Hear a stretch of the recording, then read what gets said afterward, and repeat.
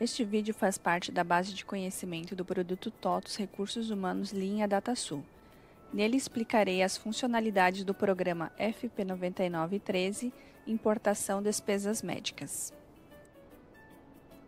Para gerar as despesas médicas no XML do S1210 Pagamentos, é necessário que seja informado todas as despesas médicas no programa FP9912. Para os clientes que utilizam o módulo de benefícios e possuem as despesas médicas parametrizadas, estas serão integradas automaticamente ao executar o programa BS 2000 Geração Benefícios para Folha. Porém, para os clientes que não utilizam o módulo de benefícios, o programa FP9913 tem a funcionalidade de importar as despesas médicas que transitaram no cálculo da folha de pagamento.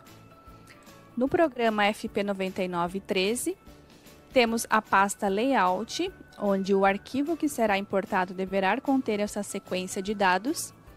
Já na pasta Parâmetros, temos o processo de importar e eliminar, ação de despesas, onde caso já houver valores no FP9912, podemos somar os valores, sobrepor ou não alterar os valores de informações já existentes. A informação pode ser de despesas médicas ou reembolso. O prestador deverá informar o código do prestador devidamente cadastrado no FP 0840. O arquivo de entrada. Vamos informar o caminho que o arquivo está salvo.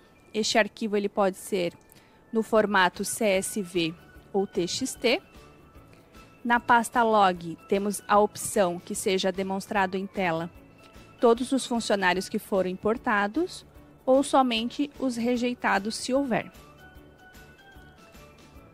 Executamos para importar as despesas médicas. Vejam que foram importadas corretamente. Agora vamos consultar.